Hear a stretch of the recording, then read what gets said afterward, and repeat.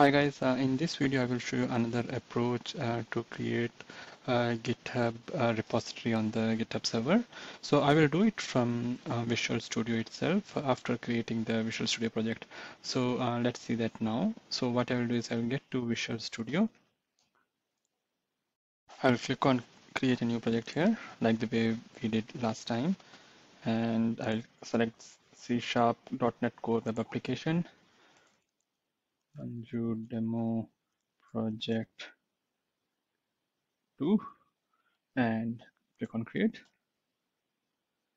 I'll create a web application here again.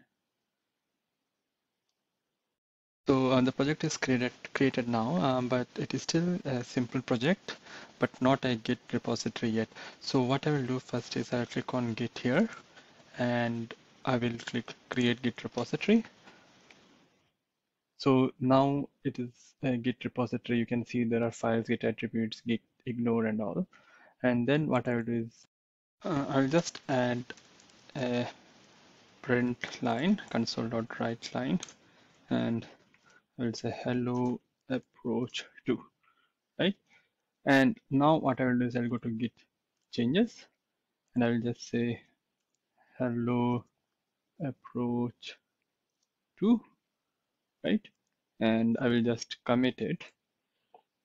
And then I'll just click on sync, right? And then it says that um, you can push to remote repository, but there is no remote repository configured. So you can actually add a git repo here too if there is an existing git repository. Um, but in our case currently, we don't have any repositories um, for this particular thing. So basically, I'm planning to create Manju demo project 2 repository on my GitHub and we don't have that. So these are all my other personal, um, you know, tutorials um, which I have made. Um, but in this case, I will create a new repository now called Manju Demo Project 2. So in Team Explorer, instead of pushing to remote repository, I will do this, publish to GitHub. And so this will create this demo project. So I will just name it demo 2, Manju demo project approach to, sorry, approach to, and description is optional, and I will publish it.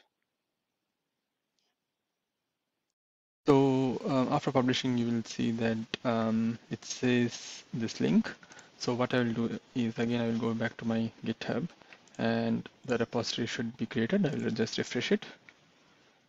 And you can see now that this uh, repository is created and all these changes are in here. So even the one which I change I made is also being pushed to the repository. So that is a, this is the second approach wherein you can create the repository, uh, the central repository on GitHub server 2 from Visual Studio itself instead of you actually creating repository here manually like the way we did earlier. In this way, in this video, we are doing it from the Visual Studio itself. So hope uh, you got uh, both the ways of uh, creating repositories now. Um, so that's it for this video.